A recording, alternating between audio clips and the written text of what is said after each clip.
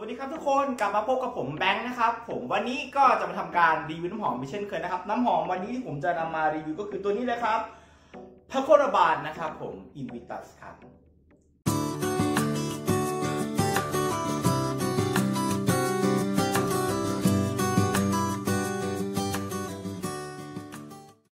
เค ก่อนที่จะไปรีวิวน้ำหอมนะครับ ก็ขอถอดแว่นก่อนนะครับ จริง ๆ แล้วอะตั้งใจที่แบบว่าเอ้ยเท่ๆใส่แว่นอะไรเงี้ยแต่พอทำเข้าจริงๆมันบ่ได้มันบ่ได้เลยนะครับ ในการใส่แว่นแล้วก็รีวิวมันรู้สึกแบบแปลกๆอะนะครับสำหรับน้ำหอมนะครับ ข้างต้นผมก็ได้บอกไปแล้วก็คือพาโคลบาอินวิสตัสนะครับผม ตัวนี้จะเป็น ออเดอร์ตัวเลตผมได้มาเป็นแบบหลอดฉีดนะครับ ซึ่งเป็นของแท้นะก็มีสัญลักษณ์ของเขาอยู่ตรงนี้นะครับ แล้วก็ของจริงเดี๋ยวผมจะใส่รูปให้ดูปิ้งตรงนี้แล้วกันอ่าของจริงนะครับ มันสวยดีนะมันเป็นแบบกับเหมือนโล่เหมือนได้รางวัลอะไรเงี้ยนะครับอ่าน้ำหอมตัวนี้นะครับ ออกมาในปี 2013 ครับผม ซึ่งก็ถือว่าออกมานานแล้วนะ แล้วก็ยังได้รับความนิยมจนถึงปัจจุบันนะครับน้ำหอมตัวนี้ผมต้องบอกว่าหลาย ๆ อย่างอะมันมีความคล้าย ๆ กับยี่ห้อดังตัวหนึ่ง ผมรู้สึกว่าน้ำหอมตัวนี้นะครับ พวกลักษณะของกลิ่นนะมันจะออกไปทางคล้ายๆกับอีฟ a ลอง YEDT นะครับ YEDT นะ ไม่ใช่ EDT สำหรับผม เพราะว่าตัวนี้นะครับมันมีความแบบ citrus marine aromatic fresh spicy woody salty เกลือเกลือว่างั้น แล้วก็มีความ amber white floral แล้วก็ อ่านไม่ออกนะครับแล้วก็อะควาติกเนาะอันนี้อ่านไม่ออกก็อ่านเอาแล้วกันนะฮะก็คือแบบกลัวผิดนะครับ อันนี้ก็บอกให้รู้ไว้นะบอกให้รู้ไว้ ทุกคนจะได้รู้ว่ามันเป็นประมาณไหนจะได้จินตนาการถูกเนาะtop note นะครับจะเป็นกลิ่น sea note วัตสันกลิ่นทะเลนะครับผมแล้วก็มีความแบบ grapefruit mandarin orange นะครับ mid note จะเป็น bay leaf นะครับเป็นใบเลยหรอแล้วก็มี jasmine นะครับ ส่วน base note นะครับจะมี ambergris ผมเคยบอกไปแล้วนะครับว่า ambergris เนี่ยมันเป็นกลิ่นเหมือนกับอยู่ตรงโขดหินที่ทะเลเขารู้สึกว่าเป็นแบบเหมือนกับการขย้อนออกมาของปลาวาฬอะไรอย่างเงี้ยครับกลิ่นมันก็จะมีความแบบจริง ๆ ส่วนมากเขาบอกว่ามันเป็นกลิ่นซินเทติกแหละ เพราะว่ามันราคาสูงมากๆอะของแท้มันกิโลหนึ่งมันหลักล้านนะนะแล้วก็แล้วก็มีกลิ่นของไม้กลิ่นโอ๊กมอสแล้วก็แพชชูรี่นะครับโอเค จริงๆผมฉีดมาแล้วนะ แต่ว่าผมจะอ่าลองเดี๋ยว ฉีดกลิ่นต้นให้ดู ส่วนตรงที่ผมฉีดไปแล้วเนี่ยมันประมาณชั่วโมงสองชั่วโมงนั่นแหละนะครับ เป็นกลิ่นกลางกลิ่นท้ายได้แล้วด้วยซ้ำหนึ่งสองสามคือเอาใหม่ได้ไหมคือต้องบอกว่าไอ้ตัวแบบเนี้ยหัวสเปรย์ไม่ค่อยดีนะครับ เออ มันต้องอย่างนี้สิอืมดมข้างในก่อนดีได้ทั้งหมดนะครับ ผมต้องบอกว่ากลิ่นมันค่อนข้างที่จะออกมาแนวสดชื่นครับ อะผม รีวิวกลิ่นเลยนะครับสำหรับโพโคลาบานอินวิตัสนะครับกลิ่นที่ออกมาตอนแรกกลิ่นเปิดมันอะ ผมมีความรู้สึกว่ามันมีความสดชื่นนะครับ แล้วมันก็มีความหวานมากๆ จริง ๆ ผมความหวานเนี้ยผมมีความรู้สึกว่ามันเหมือนกับสับปะรดด้วยซ้ำนะครับ แต่ว่าในนี้เขาบอกว่ามันเป็นเกรฟฟูดนะครับ แล้วก็มีความเป็นออเรนจ์นะครับแมนดารินออเรนจ์ซึ่งก็สื่อไปทางนั้นได้อยู่เนาะมีความแบบซีตรัสสูงมากๆครับ คือเปิดตัวมาด้วยความซีตรัสเลยนะครับ ส่วนกลิ่นทะเลที่เขาว่าเนี่ย ผมรู้สึกว่ามันมีความเค็มๆนะ เออ แต่เค็มในที่นี้มันไม่ได้แย่นะครับ เหมือนกับที่ผมพยายามอธิบายความคาวของน้ำหอม อันนี้เช่นกันนะครับ ความเค็มของน้ำหอมเนี่ย มันจะสื่อถึงความแบบเหมือนเราไปเดินทะเลอะไรเงี้ย ข้างทะเลแล้วได้กลิ่นทะเลโชยมา แต่ว่าก็ต้องเป็นทะเลที่ที่โอเคอะไม่ใช่ทะเลที่แบบว่า อืมอะอืมขยะอย่างเงี้ยไม่ใช่นะฮะ อืมอืมอากับใครอยู่คนเดียวบ้าปะเนี่ยนะครับ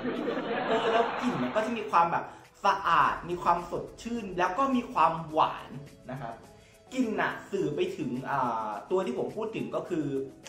ยิสังลอง YEDT ได้ไหม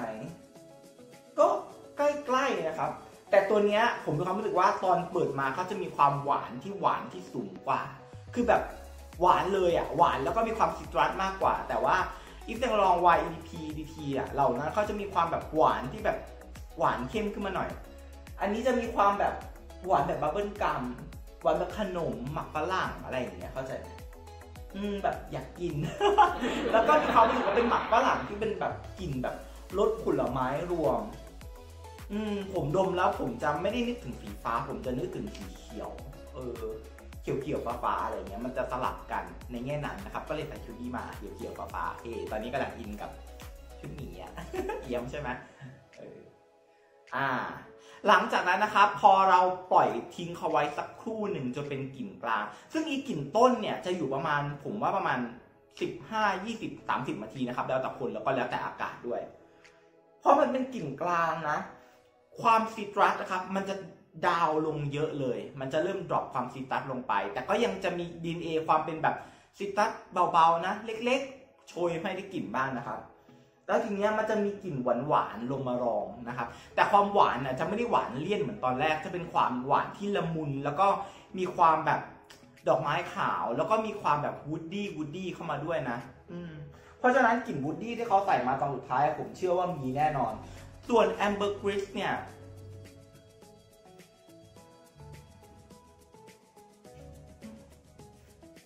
ผมว่าความ ambergris ตัวเนี้ยมันจะต่างกับยิปซังลอง YEP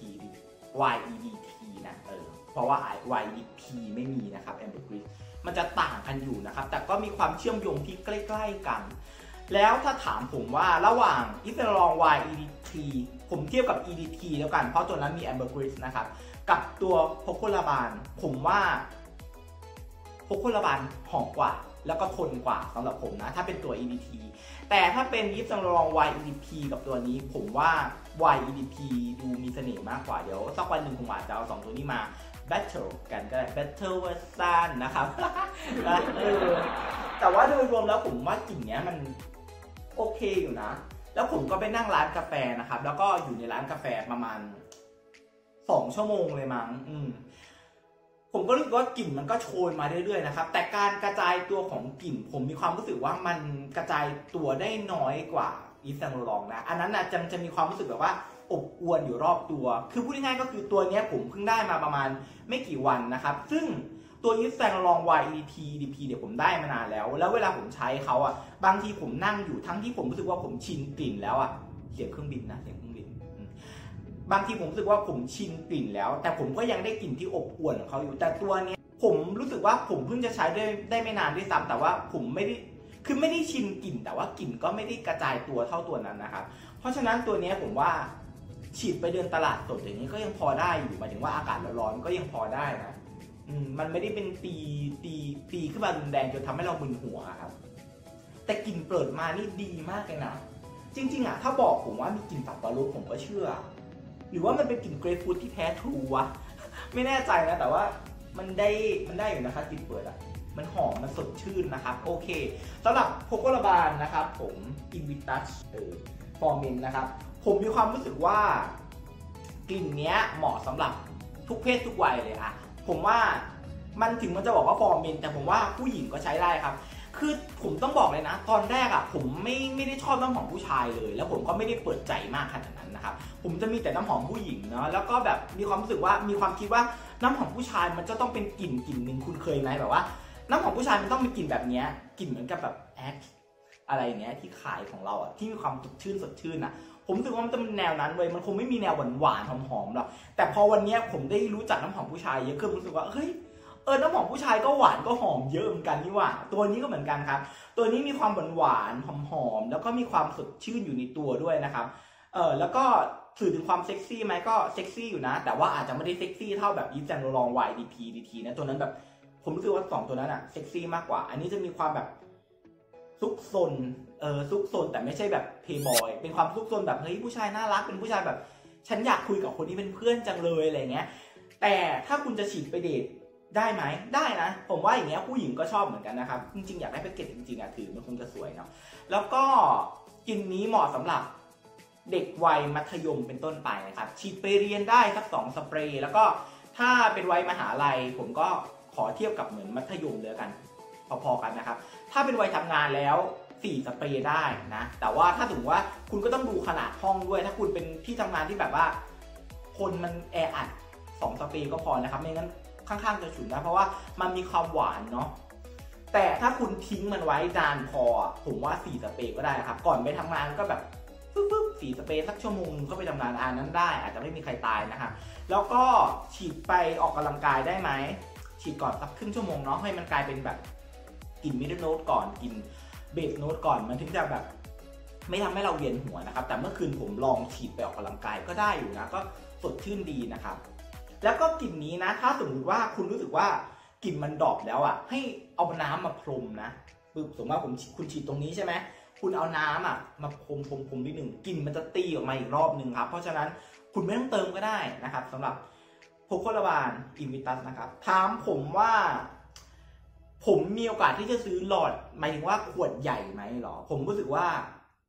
ถ้าผมมียิปแตนลอง Y EDP EDT อยู่แล้ว ก็ไม่จำเป็นต้องซื้อครับ แต่ถ้าคุณแบบว่าอยากหาน้ำหอมที่มีความหวานหวานๆแล้วก็ราคาน่ารักน่ารักนะครับ ไม่ได้แพงมาก ผมไม่แน่ใจว่าตัวนี้แพงกว่ายิปแตนลองหรือเปล่า เดี๋ยวผมจะขึ้นราคาไว้ให้ แต่ราคาที่ผมขึ้นไว้เนี่ยเป็นราคาของ Central Online นะครับ จะเป็นราคาที่ผมซื้อว่าอะเป็นราคากลางแล้วกัน แต่ถ้าถามว่าคุณสามารถซื้อได้ถูกกว่านี้ไหม มีแน่นอนนะครับ หาได้เลยพวกแบบ ร้านค้าออนไลน์ต่างๆ ถูกกว่านี้แน่นะครับ แต่ว่าของแท้ของปลอมไปเดามันเองนะ อันเนี้ยนะผมแบงค์นะครับ ก็ขอจบการรีวิวเพียงแค่นี้นะครับ หวังว่าทุกคนจะชอบคลิปของผม พยายามพูดให้กระชับแล้วแต่ก็ไม่กระชับก็ยำเหมือนเดิมนะครับ วันนี้ก็ขอจบการรีวิวแค่นี้ ใครชอบ ใครชอบ ใครไม่ชอบ ใครอยากติชมอะไร เน้นบอกกันคุยกันได้นะครับ วันนี้ผมไปแล้วนะครับ สวัสดีครับ